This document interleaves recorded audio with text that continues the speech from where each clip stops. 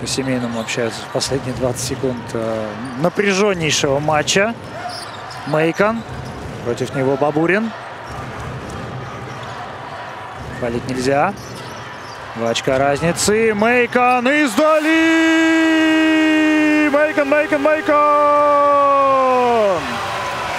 Пересекает отметку в 30 набранных очков этим э, дальним попаданием и показывает, если я правильно понял президенту Уникса, э, господину Богачеву. Четвертой четверти Бабурин на Салаша. Салаш на Чадова. Чадов с отклонением. Да ладно! И взрывается казанский баскетбол. Недоумевает Зоран Лукич. А, мажет Александр Чадов решающий бросок. Дэрил Мейкон в восторге от своего победного трехочкового